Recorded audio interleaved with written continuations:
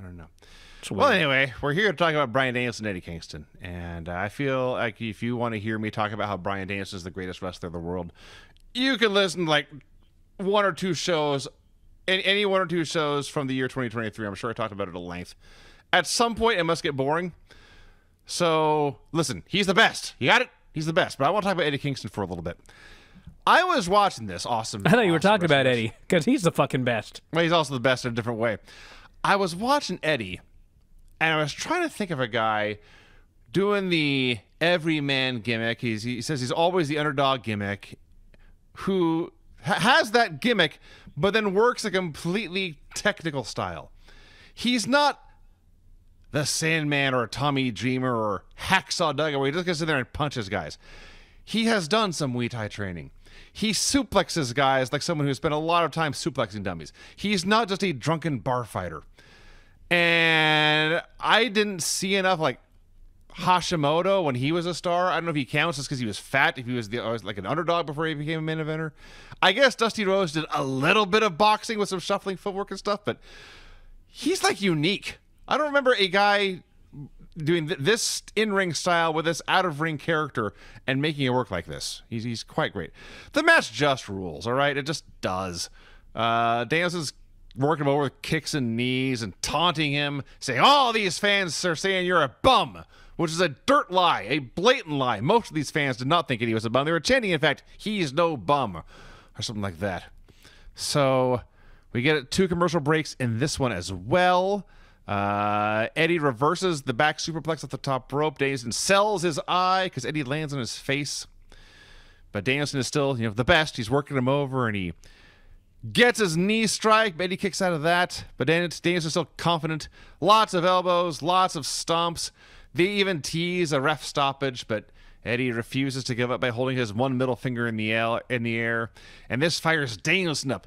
And he goes to the corner. He's to come out for the big knee strike again. And even Bryan Danielson shouts, fuck you, as he charges out. But he charges right into a back fist. And they trade big moves for a while. And Eddie hits a pair of back fists. And he grabs him for a power bomb. And I didn't appreciate this live, but I watched when they showed the replay. This power bomb was not picture perfect. Their timing was slightly off. It was a bit of a struggle for Eddie to get him up there, but he got him up there and he slammed him down. And the struggle made it like even better because it's an ugly fight. And he power bombs this dude and he pins him. Eddie Kingston has won the Blue League. I hope you all enjoyed your pay per view main event here for free on Dynamite. Uh, there's a good chance that this will be a better match than anything on the pay per view, and I hope I'm wrong because that means I get to watch more great wrestling on Saturday night. But uh, this was awesome. I demand you all go see it right now. Well, did you think it was the best match of the entire tournament? I would have to go back and check. I did think it was better than the opener. I It, it's virtually impossible to. Uh, th- this tournament, you know, whatever you want to say about the tournament or AEW or whatever, the tournament was great. oh yes, And uh, this was There a was no- fucking. Yes. there was no downside to this tournament. There's nitpicks, there's things to improve on, but there's nothing wrong with this tournament at all. Nothing bad about this tournament at all. No, and uh, it's glaringly obvious watching this tournament what uh, what Tony Khan's strength is as a as a booker, and that is uh, unsurprisingly putting awesome fucking guys in the ring together, having Yeah. them do matches, and that's what this tournament was. And it was very well booked. I disagreed with the three way, but I mean, eh, you could have done whatever. But it was it was an excellently booked tournament. The matches were awesome. This match was fantastic.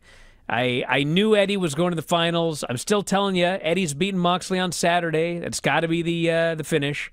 And this promo between Eddie and Moxley afterwards was one of the best fucking promos of the entire year to set up a big match between two guys.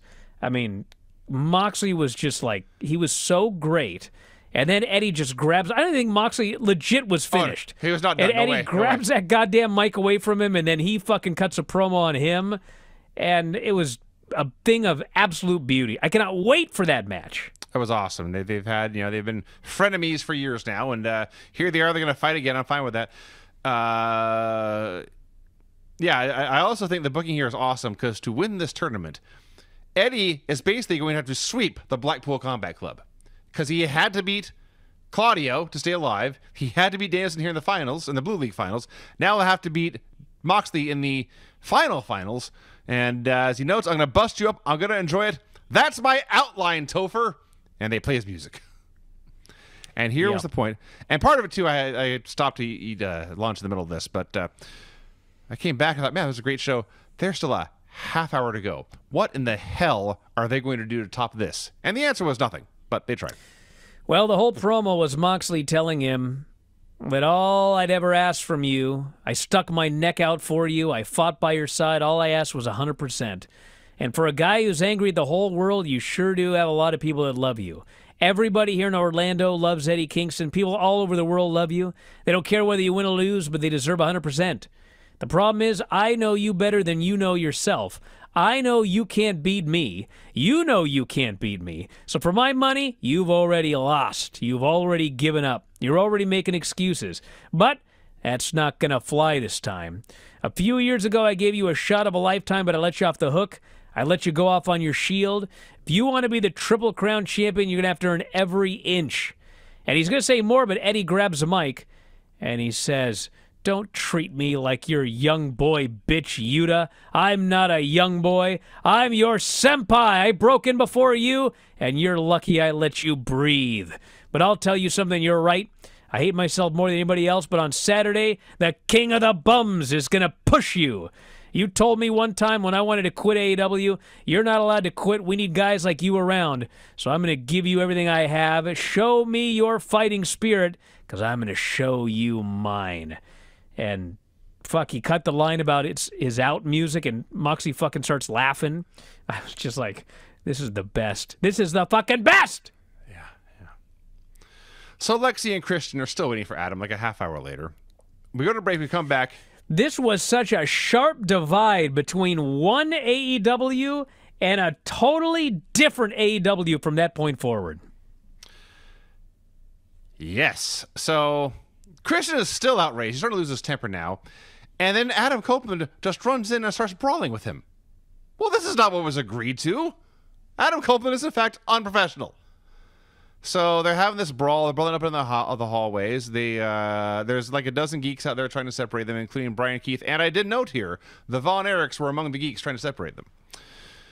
So there's a great point in the end, and I'm not sure great's the exactly right word, but uh, has got Christian by the hair, and he rears back to throw a punch with his right hand. And like eight guys tackle him around the waist. Not one of them grabs his arm, so he's left just frozen in midair with this punch he's not going to throw. And eventually he doesn't do it, and they pull him away. And that's that. They're having an ODQ match. Yippee. Kris Statlander versus Skye Blue. Listen, they had a good wrestling match. Kris Statlander, Skye Blue, if you're listening, excellent work. You did the best you could under the situation, under the circumstances, and you did a fine job doing the job assigned to you.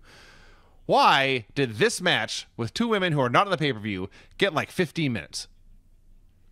They're out there. Bro, it's not even that. Well, yeah, go over this match and then I'll I'll get into my rant. The thong that Skye Blue was wrestling in on Rampage or Collision, whichever it was, it's gone. She's back to, by her standards, conservative wrestling gear again.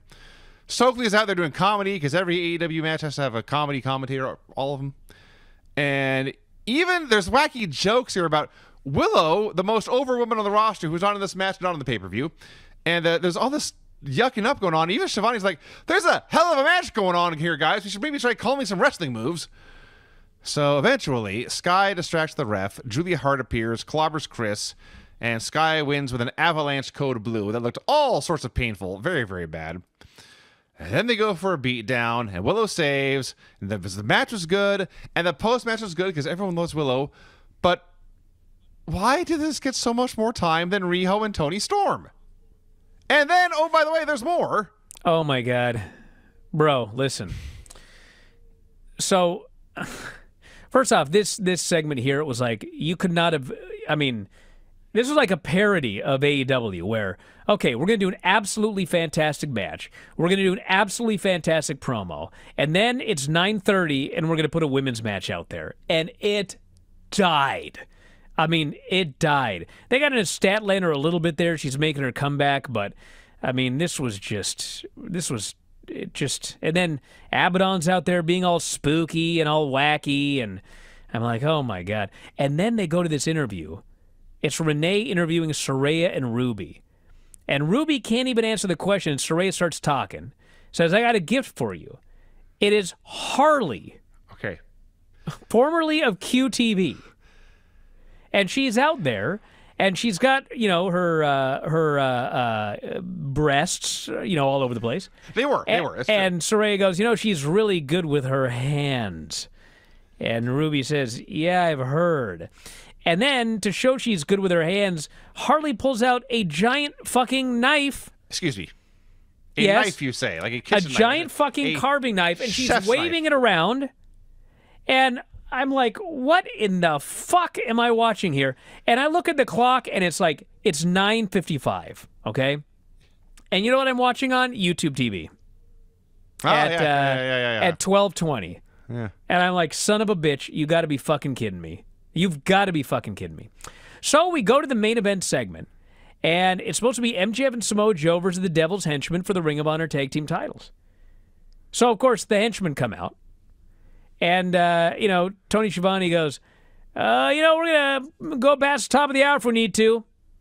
like there's 30 seconds left, and we're having a Ring of Honor World. Ta- you think we might go past it? Well, okay, all right, whatever. So they they uh, Max comes out, and then he looks in the back, and oh, it's Samoa Joe. He's down and he's hurt, and uh, and the recording ends. I'm like, son of a bitch. Well, do you need me to fill you in here? Well, no, because uh, you know I am a professional, Okay, unlike Adam. and uh, you know I did go to YouTube and they and they put it up there. And you know, again, if if they're happy that I watched the last you know several minutes on on YouTube, Mm-hmm. I seem to have lost you. All right, their overrun, their overrun grew by twenty thousand people. Okay, should have grown by a lot more, but didn't because everybody with YouTube TV, everybody with Direct TV, same story I've told a thousand times. They didn't get the overrun because it doesn't happen with AEW. But anyway, I went to YouTube and I I was watching it, and they go they go five minutes past the top of the hour. And again, what's the point of a fucking overrun? Well, the point of the overrun is to greatly grow the audience for the last segment because you're also catching all the people that are tuning in for the next show, right? Well, it's not happening. they gained 20,000 people. Uh, out of out of 850,000 or whatever, they gained 20,000. Whoop-de-doo, okay? So anyway, uh, I was pissed by this point. I'm, I'm pretty much furious. And I think back, it's like, you know, this show could have largely gone off the air on time if you hadn't done that stupid segment with Saraya and Ruby and the fucking knife and Harley, whatever the hell her name is. I'm just like, fuck. We had to air all that shit so that we could go over for the main event segment, which, god damn, I had to search for it and that's what I got? A fucking, basically a squash match. Yes. After all that time with MJF defending the titles against everybody on his own, he'd get this partner, he got that partner. He was doing it for Adam Cole. This thing had been going on for what, four months now? Well, he goes in there against two masked geeks who he's beating their ass, by the way, one on two. And then another geek comes out, hits him with a pipe, and he's immediately hit with a heat seeker and he's pinned. Yeah. And we have new mystery Ring of Honor tag team champions. And then the devil appears on the screen and says, Pleasure doing business with you. And then Joe turns on MJF. He's turns out he's all right.